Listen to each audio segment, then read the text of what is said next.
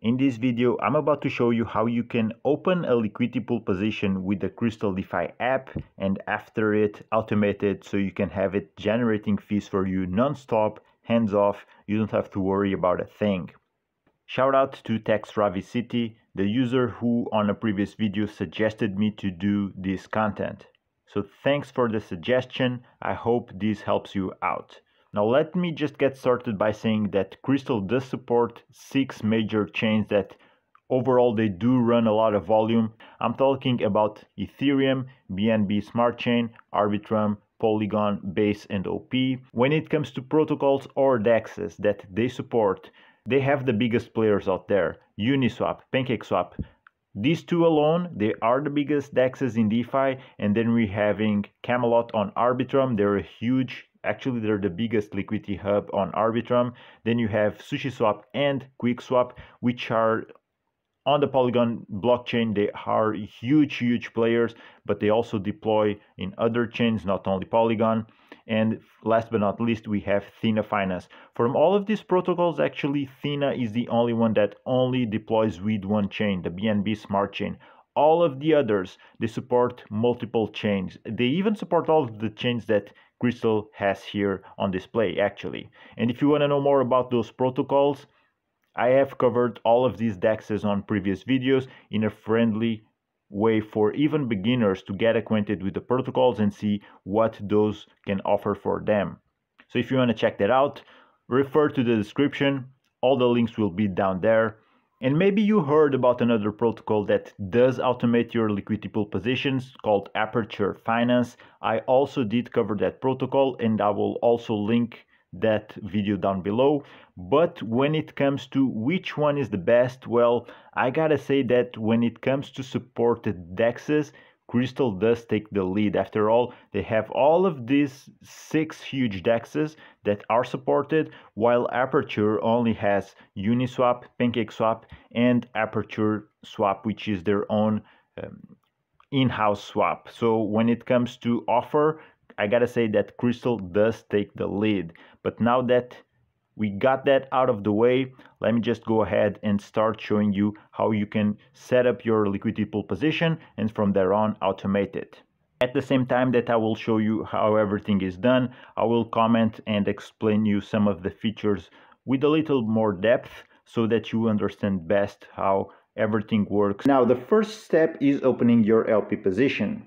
For that we'll go onto the Explorer tab uh, here on the left there's going to be stablecoin pools, blue chip pools, and best APR pools. If you want to select a different chain, right now it's showing us stuff on base, so you would have to click here and select another chain from the list. They support six overall, like we just covered. But for the sake of the video, I won't delve into it. I'm just gonna go ahead and select the best blue chip pool right now on base so it's going to be wrapped ETH paired with DAI. So you can see after we select the pool, it shows us all the options. So I'm going to go with the, the one which is paying the most. Let me sort this out by 24 fees per TVL ratio.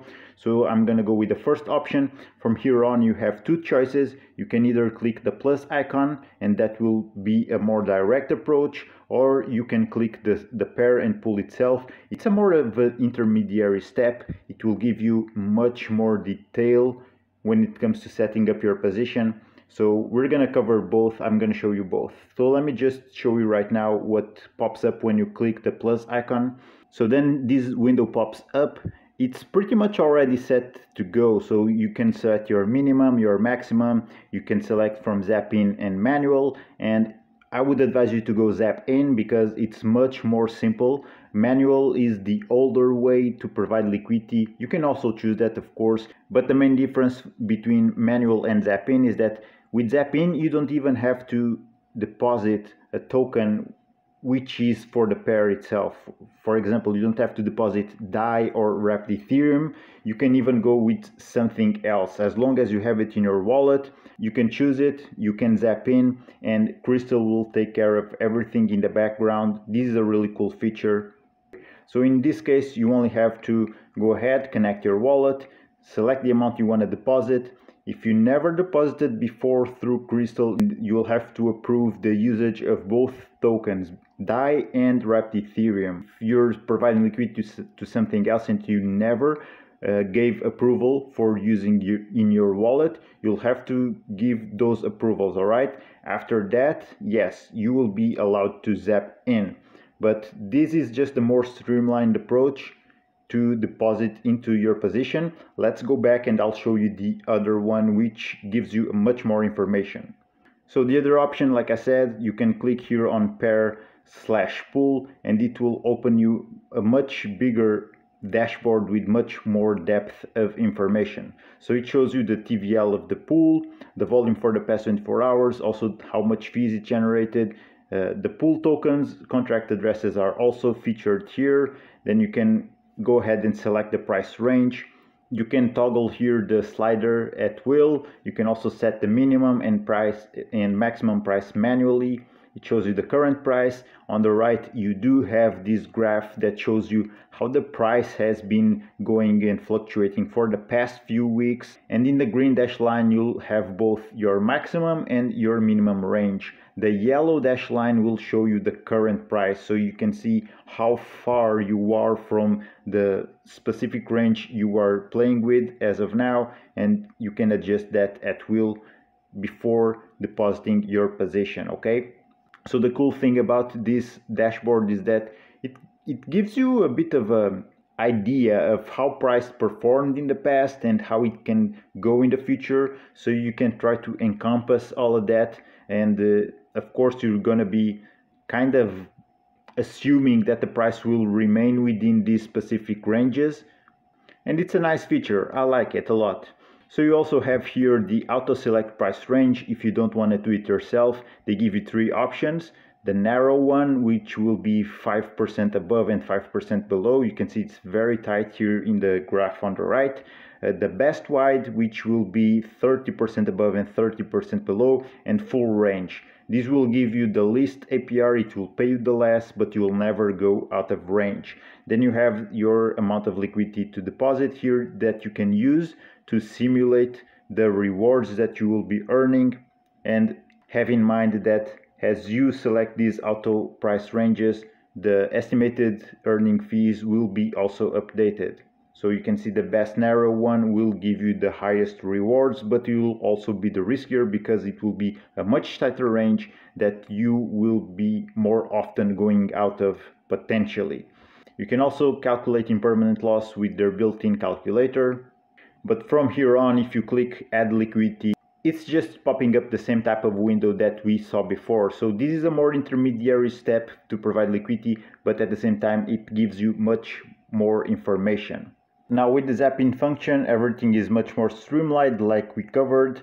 I just have to select the token I want to deposit in, the amount I want to deposit, then you click zap now after you approve the usage of the tokens, for example. If you've never done that before, obviously, and then you'll have to confirm zap. Now you need to go to your wallet, sign the transaction, and after you've done so, you just need to, to be a little bit patient until the transaction is mined in the blockchain and just like that it is done. Now if you go here onto your profile on the left, you click that tab and it will show up all the positions that you have open. I selected this one that I just opened, Ethereum paired with DAI. Now we're gonna click on automation. Now we'll have to click on new setup. So let's get to it. Now it's going to show us a little bit here of information on three main aspects. Trigger setup, new range, and settings. Trigger setup, as the name implies, are the conditions that when met, they will rebalance your position. They will open a new one, close the old one, and now you are experiencing automations. And uh, those conditions are time buffer, a below current rate percentage, and an above current rate percentage. If you want to read data in other ways, you can select here instead of percentage price or also the ratio, the composing ratio of the liquidity pool. So you can see here the current ratio, 72% of my position is compromised of Ethereum and 28% of DAI. This is specifically useful if you want to rebalance your position whenever you hit a certain ratio. For example, whenever you get 100% worth, worth of Ethereum, you can design that to be the trigger for rebalancing your. So it depends on what you like to work the best with but overall these will all do the same thing they're just different ways to portray the same type of information I'll go here with the percentage and it shows us the current rate or the current price of Ethereum and you'll have three main aspects here time buffer below current rate percentage and above current rate percentage. The time buffer is particularly useful to avoid spikes in the market. So let's say for 20 hours of the day, uh, Ethereum price will be remaining stable at 2500 DAI per ETH. But there's 4 hours of those 24 hours that one day has where the price of Ethereum just goes above or below that. So it's not going to be worth it to follow along those market spikes because you might be locking in impermanent loss and you will also end up paying gas fees since you're opening and closing positions. In order to avoid that, that's why the time buffer comes in handy. If there's these spikes in the market, you can avoid that. Personally, I like it to have a time buffer of at least 6 hours, if not more. So right now, as things are, it reads just like this. If the current rate or the current price that you can see here in the graph on the right, if it drops 20% below the current price for one whole hour, if that happens, you would be creating a new position. And the same is true if the price goes up 20% above the current price for one whole hour okay? This is how it reads. This is how it will work. So you'll have to knowing that prompt in how much hours you want your time buffer to have or maybe you don't want to have a time buffer. You want to constantly be on top of the current price and generating fees. You can also toggle on and off the above or below current rate so if the let's say if the price drops you don't want to that to be the one trigger you can do that. You can toggle this off and only if the price goes up that will trigger your position. So that can be also a strategy. These are some things that you as a liquidity provider need to account for yourself. So you can see here in the graph on the right that on green that's your current range and yellow are the trigger flags so you can even adjust the above and below percentage to meet your range and if you do that, you'll know that you will be generating fees non-stop. Whenever you go out of range, a new position is created, but account for the time buffer, of course, because this amount of hours, those are the ones that you are willing to wait in order to trigger a new position. So if you go out of range for, in my case, six hours, only after that, I will be deploying a new position which means that I won't be generating fees for those six hours. The new range is basically the new range of your new position. As simple as that. You can also check it by percentage, price, or pool ratio, and you can insert the minimum and maximum ranges manually or play along with the slider here on the right. It goes the same way. Last but not least, you'll have settings. You'll have settings for auto compound, recurring, and what auto compound does is that whenever a new position is opened, if you have any unclaimed fees, those will be deposited. They will be compounded into the new position. You can toggle it on or off. Usually, personally, I like to have it turned off because I like to be claiming my fees manually and if I decide to put them on the pool later, that will be my decision, but I don't like it to be automated in that way. And recurring, also you can turn it on or off, but if you have it on, it means that whenever the triggers are met, a new position will be opened endlessly. Now then you have minimum fees. I'm not sure what these are, but probably these are the minimum amount of fees that you need to accrue in order to auto compound. Like I said, I never use this function all that much, so don't quote me on that but that's what i believe it does then you have the gas fee ceiling so if you don't want to pay a lot of gas and this is particularly useful if you plan to provide liquidity in a high paying blockchain such as ethereum maybe sometimes it's not worth to open a new position even if you go out of range. And that's why there's the gas fee ceiling here to in order to help you to avoid extremely high gas fees that overall they will eat into your profits. Then you'll have pool slippage and swap slippage also that you can play around as you wish. Personally i just let, let it be at auto and then there's the end time toggle. So this will be a feature that you can turn on and off at will. And basically what it does if you turn it on is that you'll be prompted to provide a specific date after which this automation will be no longer valid. So it's like an expiration date.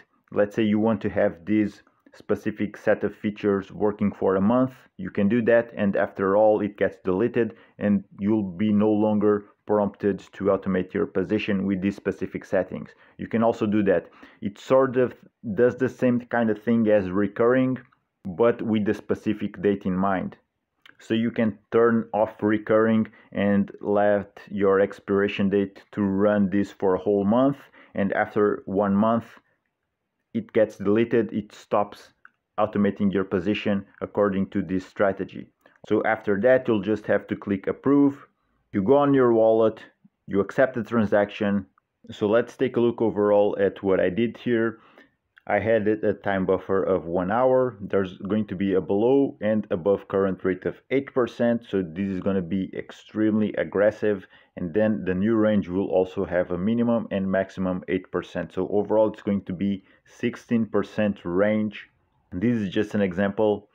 Don't do what I do. I'm just showing you how an aggressive range set might look like. So as it is right now I don't want any auto compound as well and I want to let it be recurring so it's going to be an endless cycle. Whenever it gets triggered new position will be opened. And I'm okay with all the other features here so I'm gonna click approve. Now I'll need to go on to my wallet and accept the transaction. And after you accepted the transaction you will see that now on the automation tab it will show you your auto rebalance positions so it's showing us the trigger the new range, that the auto compound and the recurring are toggled on, how many times it has been executed so far, which is zero, I just opened it, total fees generated, the time buffer, and setup created time.